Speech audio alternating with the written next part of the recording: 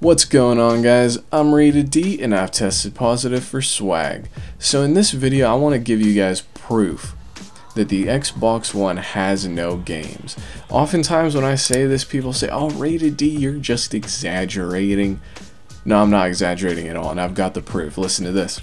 So as far as the big three, Sony, Nintendo, and Microsoft, published games by these companies in the year 2016 so far Nintendo has published 33 games.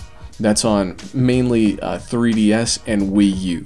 Okay, and those are the two main uh, platforms that Nintendo supports. I mean, it's their those are their own consoles, and they're supporting their, their consoles with good games. You know, when you look at Sony, this is largely just PS4, but also has some PS3, some PSVR mixed in as well. But once again, consoles Sony has manufactured that they're supporting with games, Sony's total is up to 25 games so far this year.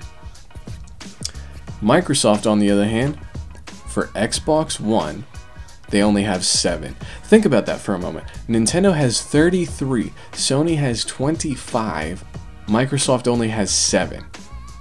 This is all the proof you need, you guys.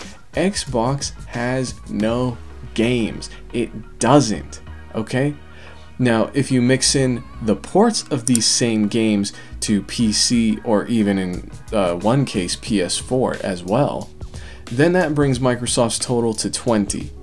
So even with ports, it still uh, is 5 less than what Sony has, you know? 13 less than Nintendo.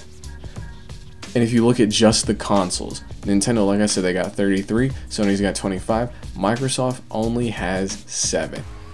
That's embarrassing. So once again, like I said, this is proof that Xbox truly has no games. Thanks for watching everyone. Keep it frosty.